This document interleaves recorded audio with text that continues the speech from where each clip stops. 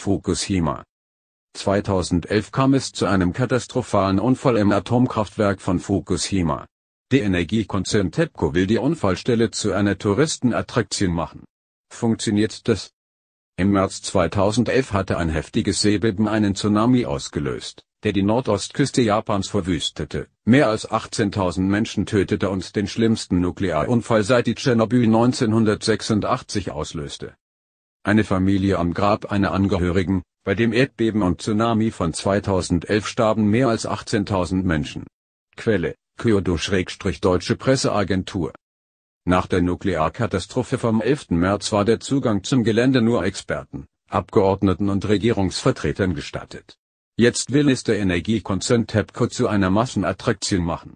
Mit dem Rückgang der Strahlenbelastung in den meisten Bereichen des Kraftwerks steigen die Besucherzahlen allmählich an.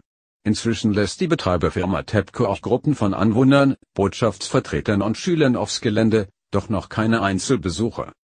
Die Zahl der Besucher für das Geschäftsjahr bis März 2017 stieg auf rund 10.000 bis 2020. Wenn Tokio die Olympischen Sommerspiele ausrichtet, will der Betreiber die Zahl verdoppeln, wie Takahiro Kimoto von TEPCO sagt.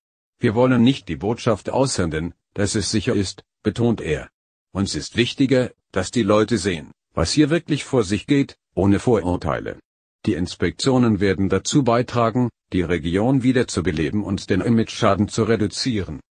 Auch Vertreter des Internationalen Olympischen Komitees seien willkommen.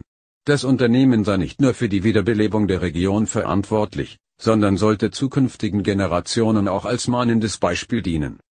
Um die Region mit neuem Leben zu füllen, wird Fukushima während der Olympischen Spiele die Baseball- und Softball-Wettbewerbe ausrichten. TEPCO hofft zudem, Teams im Rahmen des Rugby-Weltcups 2019 in einem Trainingszentrum zu beherbergen, das derzeit den Arbeitern als Unterkunft dient. Auf dem Kraftwerksgelände sind Dekontaminierungsarbeiten im Gange. Tausende Arbeiter bekommen warme Mahlzeiten, nutzen die Duschen und machen Einkäufe in einem Laden. Doch die Strahlenbelastung bleibt in den Gebieten rund um die drei geschmolzenen Reaktoren extrem hoch, was den Abbau der Anlage verlangsamt. Der Prozess wird ja wohl Jahrzehnte dauern. Verdrehte Stahlträger und vom Tsunami und Wasserstoffexplosionen eingerissene Wände könnten heute noch von dem Desaster. Bürger demonstrieren vor einem Bezirksgericht in Fukushima. Ein japanisches Gericht stellte eine Mitschuld des Staates und des Betreiberkonzerns TEPCO an der Atomkatastrophe fest. Quelle, Kyoto-Deutsche Presseagentur.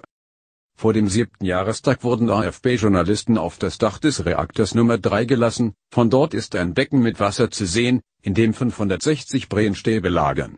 Jeder Arbeiter muss hier Schutzanzug und Maske tragen, drei Paar Handschuhe und einen Dosimeter zur Messung der Strahlenbelastung. Auf dem Dach, wo an jeder Ecke Messgeräte hängen, dürfen sich die Arbeiter maximal zwei Stunden pro Tag aufhalten. Nun wird auf dem Dach eine gigantische Stahlkuppel gebaut, um zu verhindern, dass bei der Überführung der Brennstäbe aus dem Becken an einen externen Lagerplatz Strahlung austritt.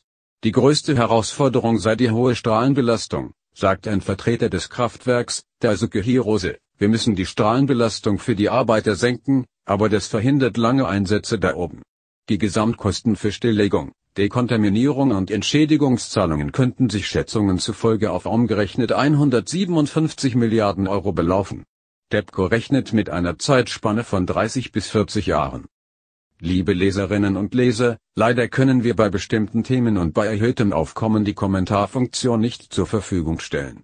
Warum das so ist, erfahren Sie in einer Stellungnahme der Chefredaktion.